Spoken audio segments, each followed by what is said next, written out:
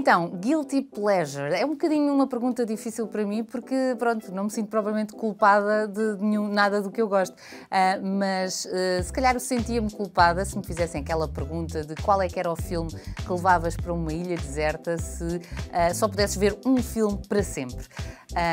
Pronto, não era o 2001 Odisseia no Espaço, não era nenhum filme altamente intelectual, era o Feitiço do Tempo, portanto, o Groundhog Day, Uh, com o Bill Murray, uh, que eu já vi milhentas vezes, uh, tal como o próprio filme. Cada vez que vejo o filme, eu sinto-me dentro do filme a reviver aquela história. Acho que é um filme subestimado.